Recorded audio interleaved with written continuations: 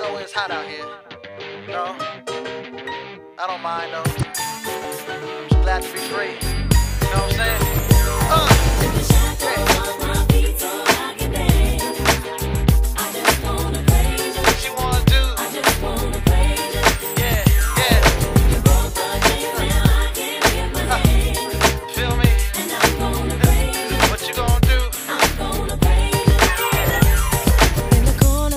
My mind, I just can't seem to find a reason to believe that I can break free. Cause you see, I have been down for so long, feel like all hope is gone. But as I lift my hands, I understand that I should raise you through my.